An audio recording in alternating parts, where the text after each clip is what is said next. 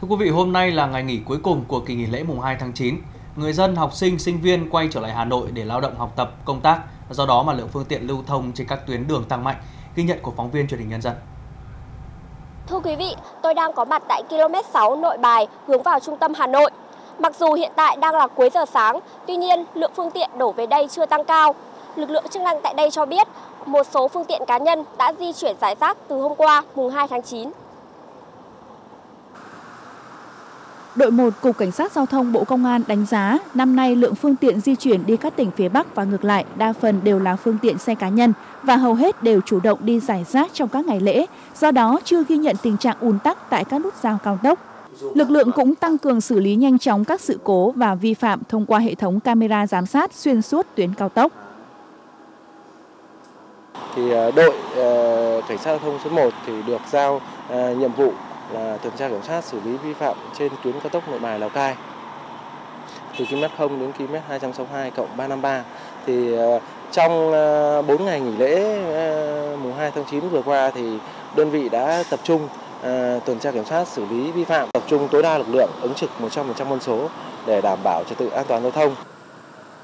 Còn tại một số tuyến đường huyết mạch của thủ đô như Phạm Hùng, Khuất Duy Tiến, ngã tư cầu vượt Mai Dịch, Công an thành phố Hà Nội cũng đã chủ động lên các phương án phân luồng trong chiều nay và sáng mai mùng 4 tháng 9.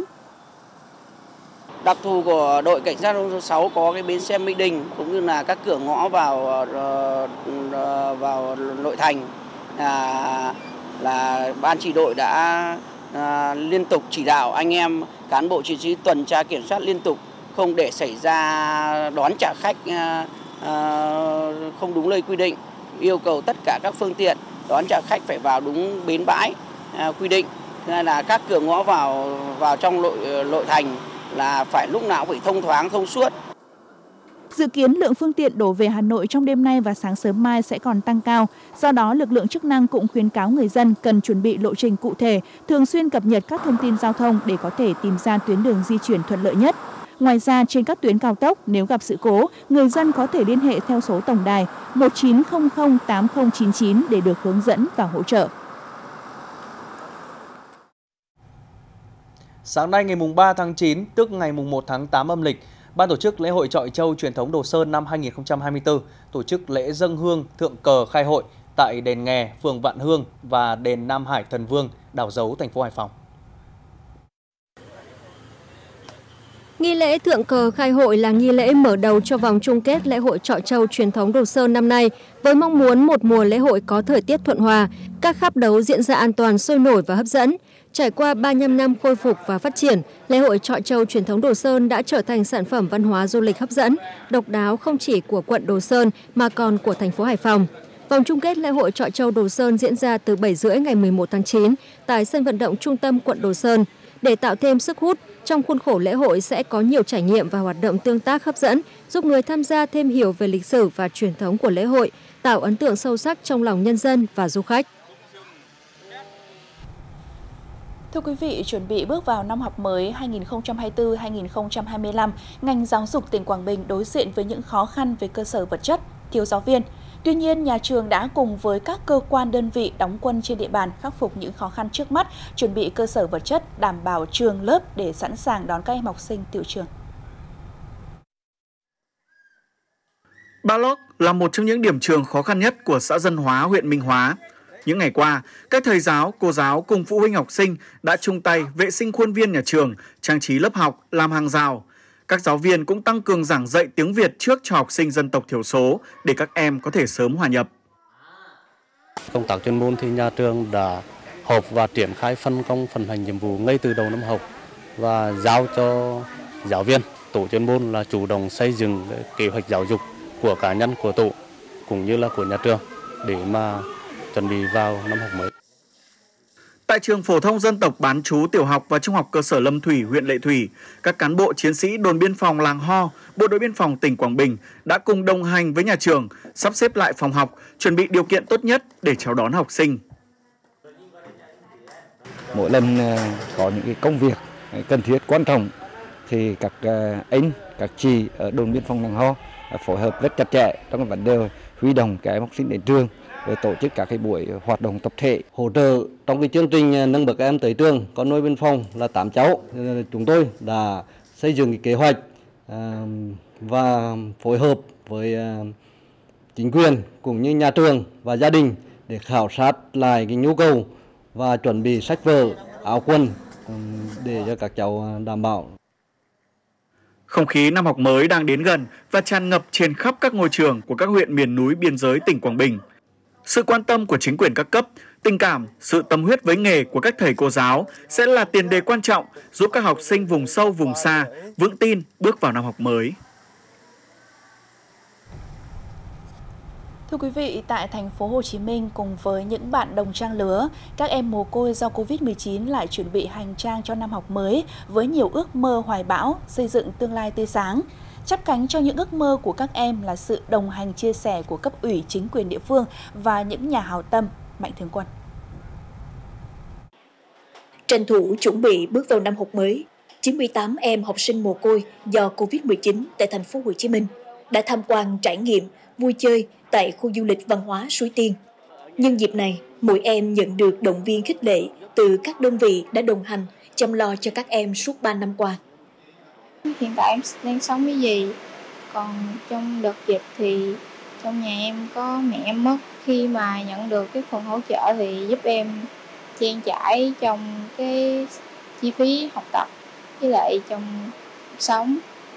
Từ năm 2021, các đơn vị trực thuộc đảng ủy khối các cơ quan trung ương tại thành phố Hồ Chí Minh đã hỗ trợ 98 em học sinh có hoàn cảnh khó khăn bị ảnh hưởng bởi dịch Covid-19 với tổng số tiền hơn 7 tỷ đồng. Mỗi học sinh là 2 triệu đồng trên một tháng. Cùng với đó là chăm lo, động viên, tặng quà các dịp lễ Tết. Cơ quan Tổng ty Phát triển 3 thì uh,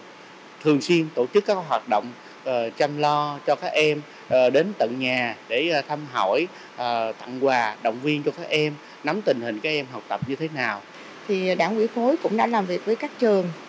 đại học cao đẳng trên địa bàn của khối mà hiện nay trực thuộc đảng bộ khối ờ, À, thì nếu các em có nguyện vọng học nghề và các em có ờ, học cao hơn vào đại học tại các trường của khối thì sẽ sẵn sàng hỗ trợ miễn phí cho các em trong thời gian sắp tới. Mong rằng các cháu dành thời gian à, cho học nhiều hơn.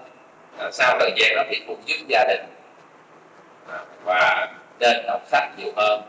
và tự học, nhớ nhớ cố gắng là phải học, biết được một ngoại ngoại ngữ khi chúng ta biết được một ngoại ngữ thì sẽ có cơ hội rất nhiều với sự hỗ trợ tương thân tương ái đảng ủy khối các cơ quan trung ương tại thành phố Hồ Chí Minh đã luôn theo sát quá trình học tập của các em suốt để có sự hỗ trợ thiết thực nhất. Riêng với một số em có nguyện vọng ngưng học, các đơn vị sẽ tìm hiểu, hỗ trợ các em học nghề, có việc làm ổn định, lo cho bản thân và xây dựng cuộc sống ổn định hơn.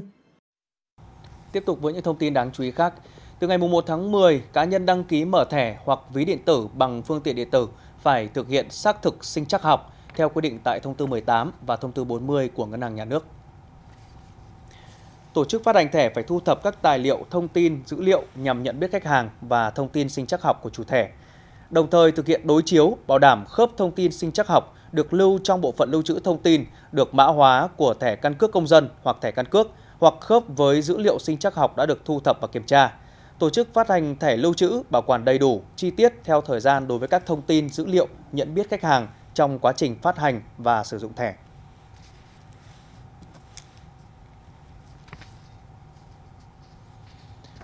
Thông tư số 28 năm 2024 của Bộ trưởng Bộ Công an quy định về cấp thu hồi đăng ký biển số xe cơ giới có hiệu lực từ ngày 1 tháng 8. Quy định đăng ký xe lần đầu thực hiện trên Cổng Dịch vụ Công Quốc gia, Cổng Dịch vụ Công Bộ Công an hoặc trên ứng dụng định danh quốc gia VNeID. Đến nay thì việc triển khai cũng đã đạt được nhiều hiệu quả tích cực. Tuy nhiên cũng còn à, không ít người dân vẫn chưa nắm được những lợi ích từ việc này. Nhiều người đến làm hồ sơ, thủ tục đăng ký phương tiện, cơ sở đăng ký tại quận Cầu Giấy, Hà Nội, dù đã biết rất nhiều thuận lợi từ việc đăng ký phương tiện qua ứng dụng VNeID, thế nhưng có người vẫn gặp không ít khó khăn khi thực hiện. Nhập vào thì ờ, tôi thấy là bị vướng cái phần mềm do cái điện thoại của tôi là cái hệ thống nó cũ, cho nên là cái phần mềm mới nó yêu cầu là cái bản nó phải nâng cấp hơn. Đấy, chính vì vậy là không truy cập được. Và khi Đến đây thì được cán bộ là hướng dẫn cho mượn điện thoại mượn điện thoại thì khi đó thì sẽ truy cập được cách thuận lợi hơn. Theo ghi nhận thực tế, hiện nay vẫn còn nhiều người vẫn có thói quen đến làm các thủ tục tại cơ quan công an thay vì thao tác trên mạng. Cơ quan chức năng đánh giá việc này cần có thời gian để thay đổi thói quen, chuyển đổi từ hình thức trực tiếp sang trực tuyến. Khai dịch vụ công à, và cơ quan công an à, sẽ vẫn à, hỗ trợ khuyến khích người dân để thực hiện cái việc khai dịch vụ công toàn trình và bấm biển tại nhà. Thì người dân phải đảm bảo các điều kiện là phải có định danh điện tử mức độ 2 và thực hiện các yêu cầu về chụp hình xe theo đúng yêu cầu của thông tư 28. Trong quá trình thực hiện ấy thì tất nhiên sẽ có những cái vướng mắc do hệ thống kỹ thuật phải kết nối với nhiều bộ ngành. Vì vậy chúng tôi cũng mong muốn người dân ủng hộ lực lượng công an trong cái thủ tục hành chính và quá trình thực hiện nếu có gì có vướng mắc thì sẽ liên hệ trực tiếp với các bộ và các tổ công tác do Bộ Công an thành lập tại các địa phương để chúng tôi ghi nhận những vướng mắc, sau đó sẽ hoàn thiện hệ thống và phục vụ người dân tốt hơn. Việc ban hành thông tư 28 của Bộ Công an về đăng ký phương tiện qua VNeID đã giảm không ít thủ tục phiền hà đi lại cho người dân. Do vậy, thời gian tới, lực lượng cảnh sát giao thông sẽ tiếp tục đẩy mạnh truyền thông, hướng dẫn để người dân nắm rõ quy định, có thể tự thực hiện được. Đồng thời phối hợp với các đại lý mua bán ô tô, xe máy để tuyên truyền về quy định này khi người dân đến tìm hiểu mua xe. Khi hiểu được, nắm rõ và hưởng lợi từ tiện ích đó, người dân sẽ hưởng ứng giảm tải cho bộ phận đăng ký xe. Thưa quý vị, Hà Nội đang đẩy mạnh thiết lập bộ phận một cửa hiện đại để nâng cao hiệu quả giải quyết thủ tục hành chính. Hiện thì gần như 100% bộ phận một cửa các quận, huyện, xã, phường đều đã bố trí kinh phí để thực hiện mô hình này. Qua đó, số hồ sơ giải quyết đúng hạn trước hạn tăng lên đáng kể, sự hài lòng của người dân với nền hành chính thành phố cũng tăng cao. Khang trang hiện đại, hệ thống máy móc được lắp đặt đầy đủ, từ máy lấy số tự động cho tới máy tính dành cho công dân tới làm thủ tục trực tuyến. Bộ nhận diện như thế này được Hà Nội triển khai đồng bộ tại các xã phường của 30 huyện thị xã. Được đầu tư cái hệ thống ờ, trang thiết bị hiện đại này từ cấp quận, đồng bộ từ cấp quận xuống phường đã giúp người dân ờ, thực hiện các cái thủ tục hành chính được nhanh gọn, thuận lợi mà lại không tốn nhiều chi phí. À, tiếp thứ hai là giúp cho cán bộ công chức à, à, giảm bớt cái à, các cái quy trình công việc à, và thao tác công việc được nhanh hơn. À, hiện tại để nộp uh, giấy phép kinh doanh thì tôi chỉ cần một bước duy nhất là cầm các hồ sơ thủ tục lên uh, bộ phận một cửa để thực hiện nộp giấy phép kinh doanh và như ờ, chuyên viên tư vấn thì sau 3 ngày làm việc thì tôi sẽ nhận được giấy ờ, đăng ký kinh doanh cho doanh nghiệp mình và sẽ giảm thiểu cho tôi đến ờ, khoảng tầm 3 đến 4 ngày làm việc. Bộ phận một cửa hiện đại được khuyến khích có diện tích tối thiểu từ 40 m2 trở lên các trang thiết bị tối thiểu cần được đầu tư là máy in, máy scan, máy lấy số tự động. Tại 627 bộ phận một cửa trên toàn thành phố, cơ bản đáp ứng về cơ sở vật chất. Nói chung về cái à, tôi thấy là rất là hài lòng. Bây giờ lên là đây là không phải ừ, không phải xếp hàng chờ đợi như mọi khi nữa. Bây giờ tôi thấy là rất là thuận tiện. Thái độ phục vụ thì nói chung là các bạn phục vụ rất là tốt. Đấy, à, cơ sở vật chất thì tôi thấy là tân tiến nhiều à, đổi mới nhiều. Thời gian qua, toàn thành phố Hà Nội đã giải quyết hồ sơ trước hạn, đúng hạn đạt 99,74%. Năm 2023, chỉ số hài lòng CPAS của thành phố Hà Nội tăng 9 bậc so với năm 2022, xếp vào nhóm các thành phố trực thuộc Trung ương có chỉ số hài lòng cao.